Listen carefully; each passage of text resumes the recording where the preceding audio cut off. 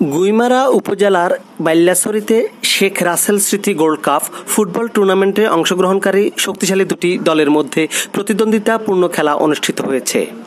শুক্রবার বিকেলে বাল্যাছড়ি সরকারি প্রাথমিক বিদ্যালয় মাঠে শেখ রাসেল স্মৃতি সংসদ গুইমারা উপজেলা শাখা কর্তৃক আয়োজিত এই টুর্নামেন্টের প্রতিদ্বন্দ্বিতাপূর্ণ খেলায় গুইমারা সদর একাদশকে দুই শূন্য গোলের ব্যবধানে হারিয়েছে মাটিরাঙ্গা মুসলিমপাড়ার শক্তিশালী দল জুবায়ের একাদশ। খেলা শেষে মুসলিমপাড়া জুবাইয়ের একাদশ এর টিম ম্যানেজার মোহাম্মদ সোহেল আফজাল বাবু দর্শকদের প্রতি কৃতজ্ঞতা প্রকাশ করে বলে বলেন, প্রথম ম্যাচে জয় পেয়ে আমাদের খেলোয়াড়রা এখন উজ্জীবিত।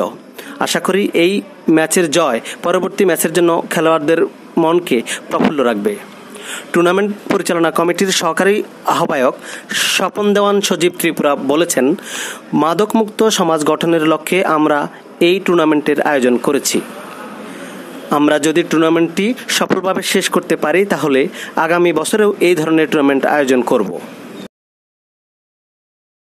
মুসলিমপাড়া যুবার একাদশের আজকের এই প্রথম ম্যাচের আমরা গুইবাড়া সদরের সাথে দুই শূন্য গোলে জিতে ইনশাল্লাহ আমাদের নিজের কাছে আনন্দ লাগছে এবং যারা টিমের খেলোয়াড় তাদের কাছে আনন্দ এবং যারা দর্শক আসছে তাদেরকেও আমার ব্যক্তিগত পক্ষ থেকে এবং এই টুর্নামেন্টের টিম ম্যানেজার হিসেবে সকলকে ধন্যবাদ জানাই এবং সামনের ম্যাচে তারও ভালো করতে পারে, সেই শুভকামনা রেখে সকলকে ধন্যবাদ জানিয়ে আমি শেষ করছি। ধন্যবাদ প্রতি বছর নিয়ে এবারে আমরা শেখ রাসেল ফুটবল টুর্নামেন্টের আসর আয়োজন করেছি।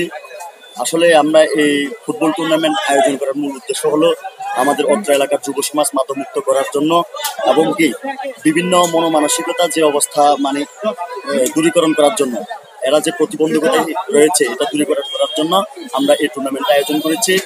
যদি আমরা এই টুর্নামেন্টে সুন্দর সুষ্ঠুভাবে সফলতা করতে পারি, তাহলে পরবর্তীতে আমরা আগামী বছরে আবার এর চাইতে আরও সুন্দর করে আমরা পরিচালনা করতে পারব বলে আমি আশা রাখি। তাই আমরা এই টুর্নামেন্টের সুন্দর সফলতা কামনা করছি।